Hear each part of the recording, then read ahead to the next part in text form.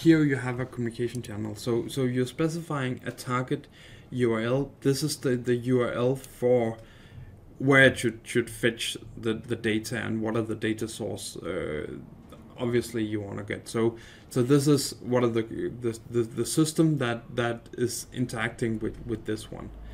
The SOAP action that you define down here is a little relating to the the actions that you have in the ESR. So if you have created a, a, a operation here, or you have multiple operations, they kind of relate to to actions.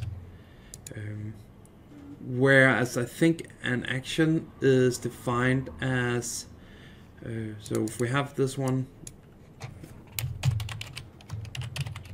we have our demo action if we want to reach this we would have to specify it uh, something like this. So we'd have uh, either to use demo action just without without any namespace or we would need to put in the namespace uh, for this uh, scenario. Um,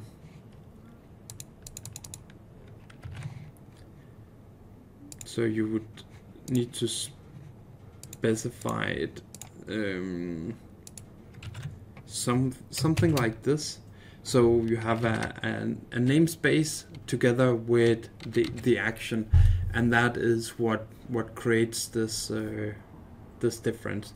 So most of the time I would try without using SOAP action but if if the service does not not respond or not not work the way I expect it to I would uh, then try with with the actions and I think the best way to do that would actually best just be to go to the the the WSDL.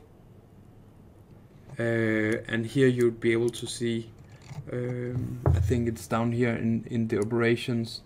Uh, what are the operations? And then you got the different uh, actions that is relevant for this uh, this message. So I hope that help about what the difference between TargetURL and SOAP action